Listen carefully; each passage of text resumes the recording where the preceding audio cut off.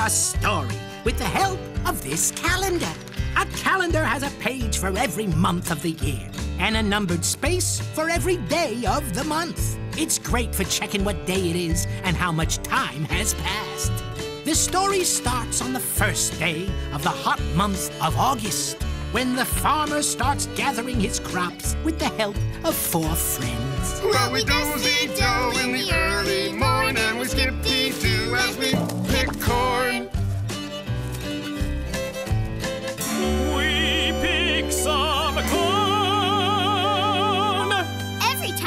tries to stomp, he flomps, right? If by flop you mean he falls down on his bottom, yes. We stop, he flumps. I'm beginning to think the pig's picking less corn than everybody else, but I got no way to be sure. I got a big problem.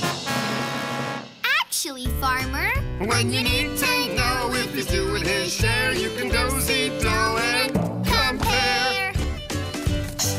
Count the piles of corn we three picked and compare them to the pig's pile to see who picked more.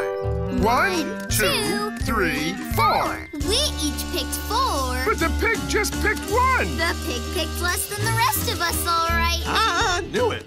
The farmer wanted to tell the pig to work harder, but when they found him in the barn, he was Fast asleep.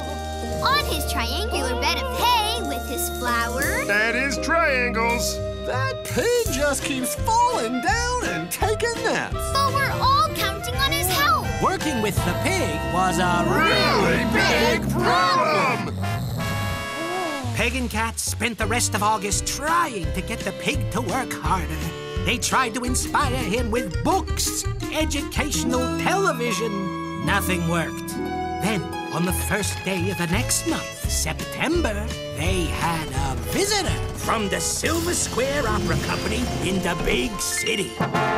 We're always looking for new singers, and just now I heard a voice that made me tingle. The only one who sings opera around here is the pig. But he'd never leave the farm to join the opera. There are some very nice benefits to being an opera star. Opera stars get lots of stuff. One, two, three, four, five flowers. Five is greater than the one he has now. Said Peg, using that opened mouth shape that means greater than. The pig would have more flowers. He'd even have more triangles. One, two, three, four, five, six triangles. More than the one, two, three he has now. The pig does love triangles. But he never get up and. Whoa! Was the pig drawn to fame and fortune, or that triangle dangling from the back of the truck? Whatever the reason, the pig was off for the big city. So it seemed their really big pig problem was solved. Or was it? As September passed, Peg and Cat gathered corn with the farmer's new helper, the hog.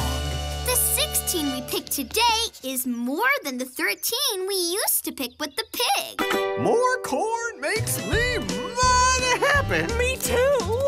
But Peg and Cat didn't seem quite as happy. One, two, three sides. His bed'll be nice and neat for him when he comes back. Towards the end of September, the weather cooled down. The leaves turned different colors. Peg and Cat kept expecting the pig to come back, but he didn't.